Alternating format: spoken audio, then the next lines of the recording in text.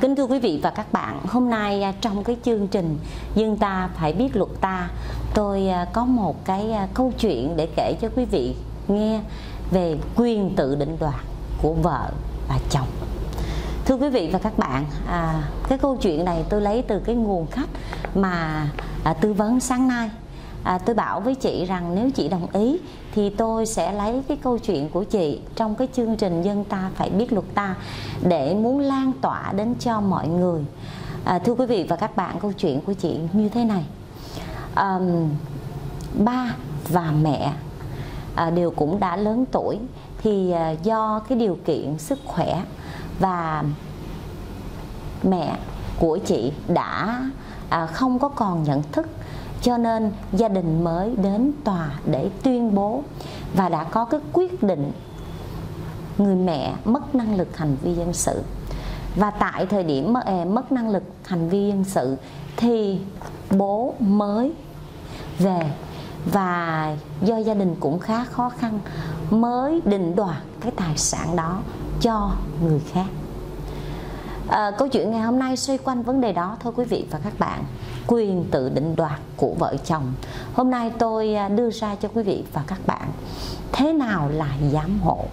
Đương nhiên theo quy định của pháp luật. Cái thứ hai nữa là quyền tự định đoạt của vợ và chồng trong thời kỳ hôn nhân. Thưa quý vị và các bạn chắc có lẽ phải nói thêm thế nào là giám hộ? À, giám hộ là gì? Giám hộ là theo quy định của pháp luật.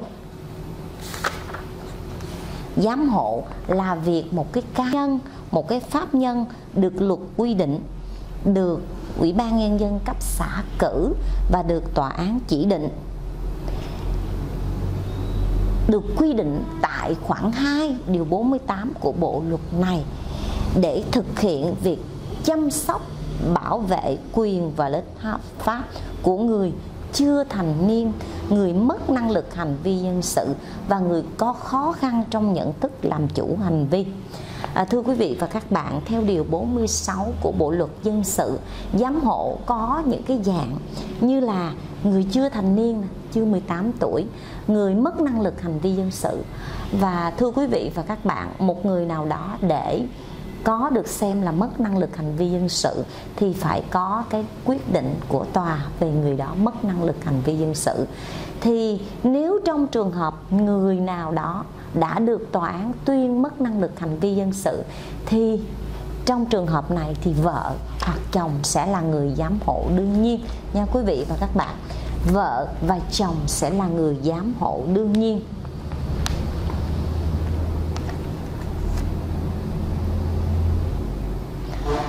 trường hợp người vợ là người mất năng lực hành vi dân sự thì chồng là người giám hộ. Nếu chồng là người mất năng lực hành vi dân sự thì vợ là người giám hộ. Theo cái uh, quy định của bộ luật dân sự nói hoài nói điều thì cảm thấy rằng là nó sẽ bị loãng. Thôi thì quý vị và các bạn biết rằng điều giám hộ là là việc một cái người nào đó đủ năng lực hành vi dân sự thay mặt chăm sóc dưỡng nuôi thậm chí chỉ quản lý tài sản định đoạt tài sản của người mất năng lực hành vi dân sự.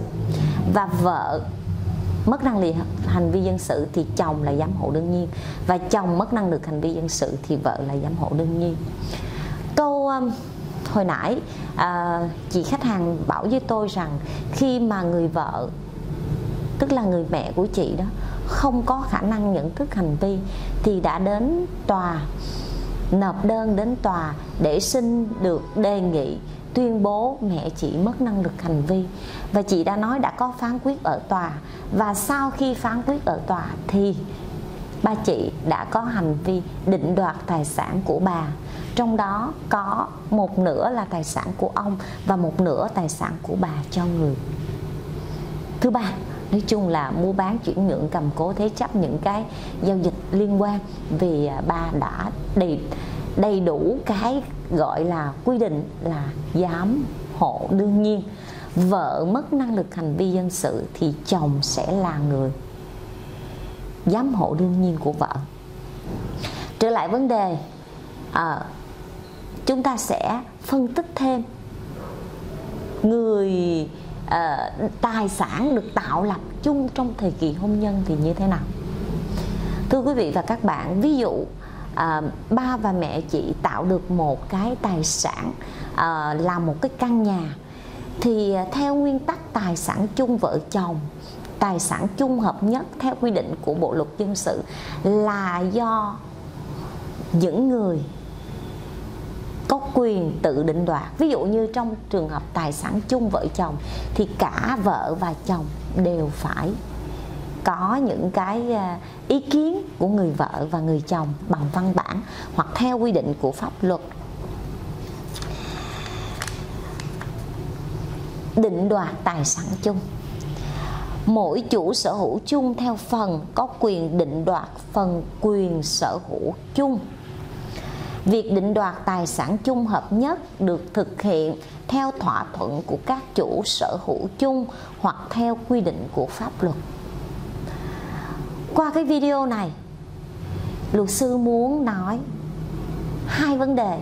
Thứ nhất là giám hộ đương nhiên của người mất năng lực hành vi dân sự của vợ là chồng và giám hộ đương nhiên của người chồng mất năng lực hành vi dân sự là vợ và hai là quyền tự định đoạt tài sản chung. Thì trong cái vế à, này có hai cái luồng ý kiến. À, thứ nhất đó là quyền định đoạt tài sản chung. Có hai dạng quý vị và các bạn. Một dạng thứ nhất là theo thỏa thuận. Cái dạng thứ hai là theo quy định của pháp luật. Theo thỏa thuận dễ rồi tôi và chồng tôi kết hôn theo quy định của luật hôn nhân và gia đình năm 2000 trong thời kỳ hôn nhân giấy chứng nhận quyền sử dụng đất mang tên anh để thuận tiện trong việc giao dịch. Tôi tôi làm một cái à, văn bản. Anh làm một cái văn bản ủy quyền cho tôi. Đây cam kết đây là tài sản riêng của bà thu. Một dạng nữa là um, đây là tài sản chung vợ chồng thì tôi ủy quyền cho chồng tôi được quyền mua bán định đoạt như vậy nó rất rất là dễ trong cái việc mà định đoạt tài sản theo thỏa thuận.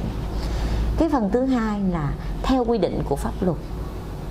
Tôi vừa mới trình bày cho quý vị và các bạn đó, theo quy định của pháp luật trong trường hợp có phán quyết của tòa án về người vợ hoặc người chồng của mình mất năng lực hành vi dân sự thì sẽ khởi kiện đến tòa tuyên bố cái người phối ngẫu của mình cái người vợ và chồng của mình mất năng lực hành vi dân sự và mình sẽ là người đương nhiên.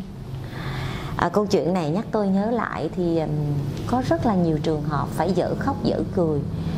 À, người vợ à, vì một cái lý do nào đó đã đi à, xuất khẩu lao động hoặc người chồng đi xuất khẩu lao động và cũng vì một cái lý do nào đó không có Ừ, tin tức à, trở về. Và cái người còn lại ở Việt Nam mòn mỏi chờ đợi. Và biết rằng họ vẫn còn sống ở cái đất nước ở Hàn Quốc, ở đất nước Nhật Bản, ở đất nước Đài Loan.